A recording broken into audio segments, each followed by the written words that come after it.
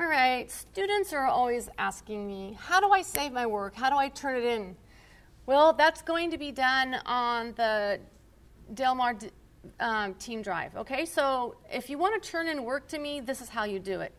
First of all, you need to go to Drive and you need to go to Shared Drives. I want you to go to the Del Mar Digital Photo Video 2019-20 and click on that shared file. All right, you're going to see different folders, period 7, period 6, period 5. All right, so what you need to do is you need to find your class. Are you a digital photo 2 class? Are you digital photo 1, period 7, or period 6? Let's say you're a digital photo 7 uh, period 7 digital photo class. All righty, so let's say you have to turn in um, a, a, landscape, okay? So let's say you need to turn in a color landscape image, okay? So I'm going to go ahead and create a folder. I'm going to call it color landscapes, okay? So let's say you know you're turning in a color landscape. So what you want to do is you want to click on that folder in your correct class period. And then you want to come over here to plus, okay? Go to plus, go to file, upload, go to your documents, and make sure you click on the correct file in your documents. You know, maybe, maybe it's um,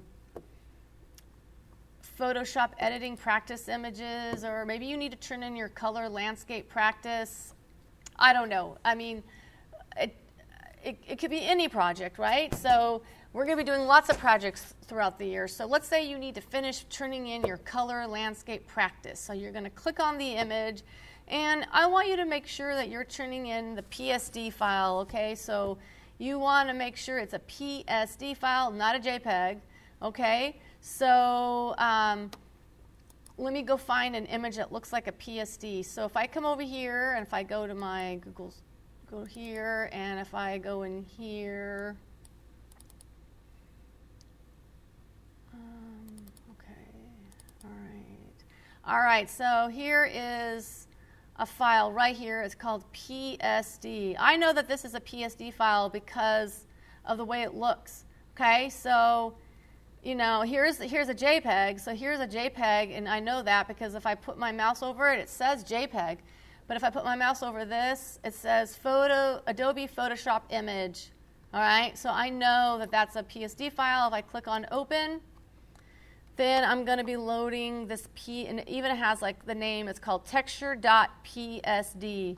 So I know that's a PSD file, and I know that I've saved the correct folder, file in the correct folder, and in the correct format.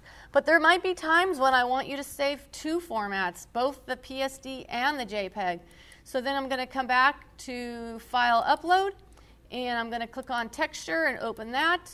And then what's going to happen is the JPEG version of that image is going to save here. So I've got a PSD and a JPEG version of this image in this file.